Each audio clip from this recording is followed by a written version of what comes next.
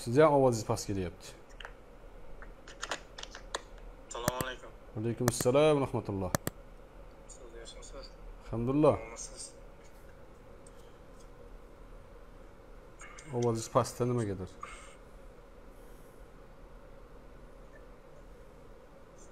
ho'p alo. Mhm.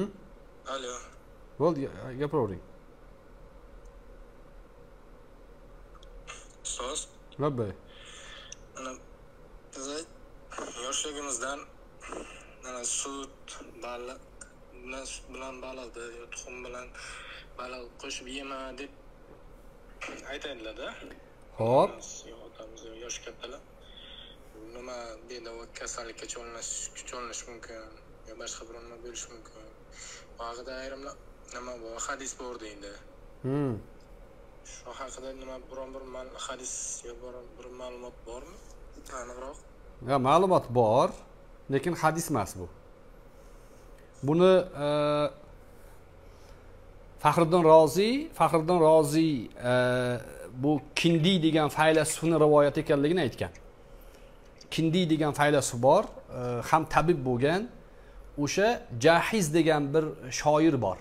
O'shani balig'i bilan E, sut ichayotganini ko'rganda aytgan la takulis samak va tashrabal laban degan. Baliq yeb ustidan sut ichma degan. E, buni keyin mana shu jumlani ko'p joylarda rivoyati kelganligi uchun ba'zilari hadis deydi. Lekin hadis emas tabiblarni gapi bu. Tabiblarni gapini ham asosi bor. Payg'ambar alayhissalotu vassalomdan hadis bo'lmasada tabiblarning tajribasida tasdiqlangan narsa bo'lsa qilmagan afzal. Lekin juda ko'p e, restoranlarda baliqni sousi sutdan bo'ladi. Baliqni sousini qaymoqdan sutdan aralashtirib qiladi. Endi issiq o'lkalarda e, o'sha oq e, badanga oq toshib ketishlik kasalligini sabablaridan biri ham deyishadi. E, baliq bilan e, sutni aralashtirib yeyishlikni. Demak o'sha zamonasini o'zini davrini tabobatini e, tavsiyasi bilan qilish kerak bunaqa ishlarni. Lekin hadis emas.